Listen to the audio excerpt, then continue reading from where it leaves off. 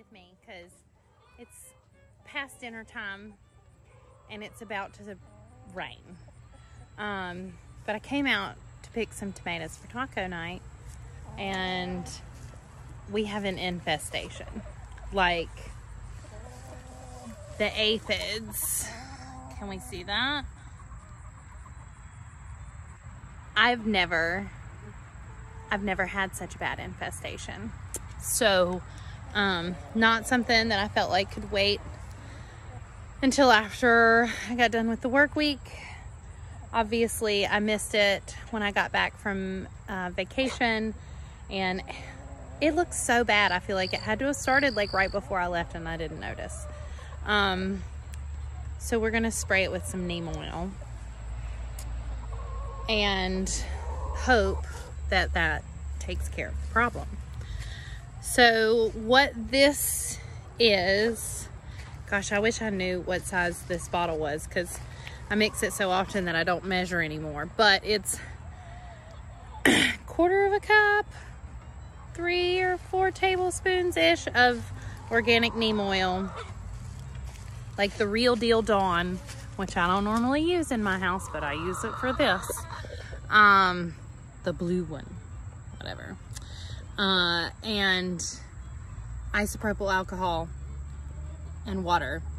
So I use equal parts neem oil and Dawn and then fill half of it with alcohol and then fill the rest with water.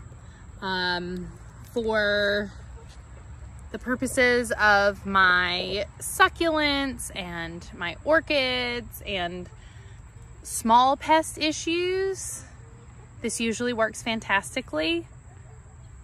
We're we're sort of spraying and praying today because I have never, I have never seen the likes of this many aphids. And sometimes when I see a small patch that looks kind of gross, I'll like wait and pray that the ladybugs are gonna bring me some ladybug eggs. But this felt like much more than I could just leave, especially after the loss of all of my broccoli. Um, I was so broken that I just cannot lose my entire harvest of black-eyed peas. Uh, so, so this is what we're dealing with. Like, and you see I already sprayed about half my bottle. Um, so some of them are starting to let go. Look at that. It's just, it's just so gross. And they are all over the undersides of the leaves. They are all down the stem. This one plant is definitely the hardest hit. Um, you can see that one's that one's pretty gross. And then it starts to lighten up down through here. But this whole trellis, I mean, even down here on my very last, yep, yep. So all the way, the whole trellis long, down to those tomatoes on the end we are dealing with such a bad infestation that like they don't even look green like green pot of black-eyed peas? What is that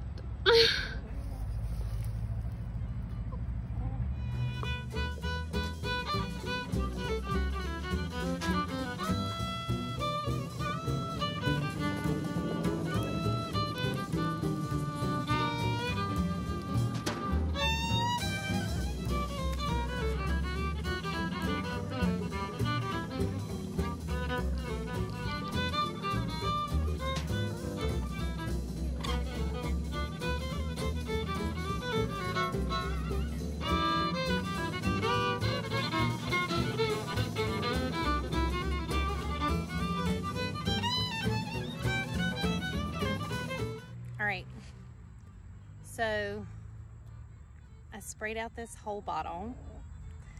Um, I tried to make sure to give a good coating on the tops of the leaves. Need my wine for this, y'all. on the tops of the leaves and the undersides of the leaves. And of course, all over the pods that are covered in aphids. Um, I had a problem with some aphids on my sunflowers earlier in the season, but this is like a monster I've never seen before. I've seen aphids, but I've never seen this many at once. Um, so I'm gonna take a few swip, sips, swips. I just started this glass. um, a few sips of wine and then go in and eat a taco because Taco Tuesday. Um, and then I'm gonna have to come out here and spray these off. I don't like to leave the Dawn and stuff on my plants. Um, the alcohol will evaporate pretty quickly, but uh, the Dawn itself does not. So I will probably come out and spray it off with the water hose. Um, and then take a look at what the problem is then. And then if I need to, I'll do another bottle of neem oil. Neem oil is one of those things that like I get quite a few pest applications out of my one bottle of organic neem. Um, but God, that stuff smells terrible. It smells so bad that I almost hate to even keep it in the house. I have used some really wonderful pre-made organic neem oils um, there is a great one that is sold at this cute little shop near my house.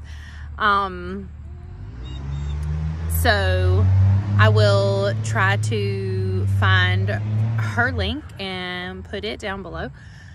But um, I, I do, especially for the purposes of something this large, mix my own because I buy that in bottles this size and um, this is probably going to be a, at least a two bottle job. It's really terrible.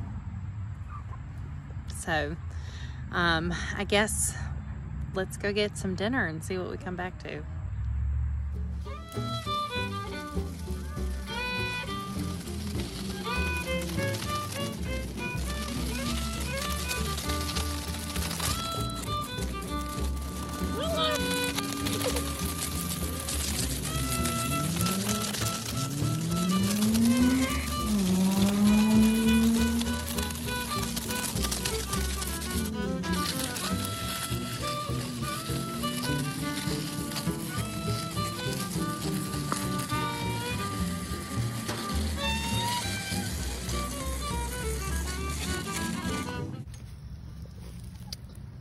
Look at that. They're coming off. There's definitely some damage to my poor sweet plants. Let's spray from the other side, yeah?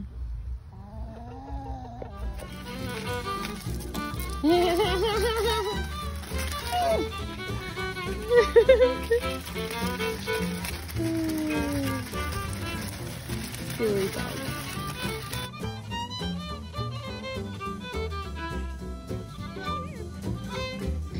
Now, I know that it looks like I just beat the ever crap out of these poor black eyed peas. But there is some real damage to the backs of those leaves. Um, and, and I don't know what the damage is going to be to the actual pea pods. And I'm going to have to go back and get the underneaths. Look at those guys hiding. Now, hopefully they're dead because of my spray, but, you know, just in case, I'll, I'll spray this one last time with water. Uh, but they should perk up in another day or two. Uh, even after battle, they are beautiful. All right, so I have been eaten alive. I am covered in mosquito bites. It's fun. I react much less worse than most people to those. But I think, I think we got them. Uh, it's at least a lot better. Uh, and I found them all the way down to this first tomato plant. So I did one round of neem oil spray. I let that sit for like 45 minutes to an hour. And then I washed them all off really well with my hose. It really looked like I beat them to death, but better I beat them to death than the aphids eat them all, I guess.